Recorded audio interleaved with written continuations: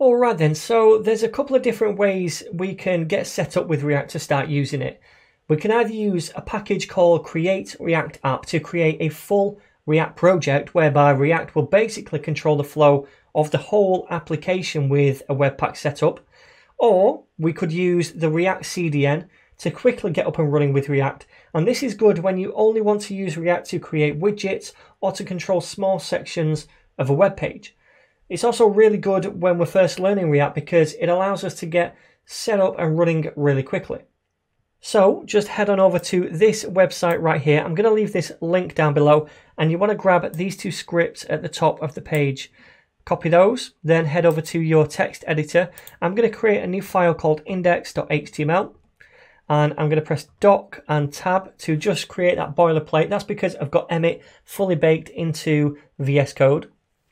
And then underneath this meta tag over here, I'm going to paste in these two scripts. So the top script right here, this is the core React library. And the bottom one down here, this is the React DOM library. And this is like a glue layer between React and the DOM. It's what lets us inject our components into the DOM, right? So we need both of those two libraries loaded into our index.html document. All right then, so now inside the body, what I'm going to do is just create a div tag with an ID of app. And I've given that an empty class by mistake. Okay, so this is the div that ultimately what we're going to be doing is controlling with a React component. Now, we're not going to do that in this video. We'll do that in the next video. But before we stop with this one, I want to show you just a couple of packages that I've got installed for VS Code, which is really going to help when developing React applications.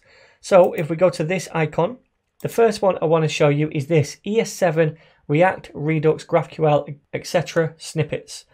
So this is going to give us some shortcuts to some snippets of code so we can easily create components or imports and different things later on down the line, especially when we're using React to control a full application.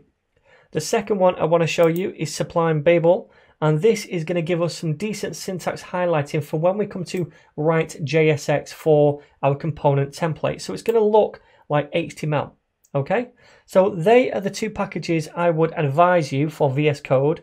This one right here and this one right here. Now also, because a lot of people ask, I am using Monokai++ as the theme for my text editor as well. So if you want to use the same one, you can go ahead and download that right there.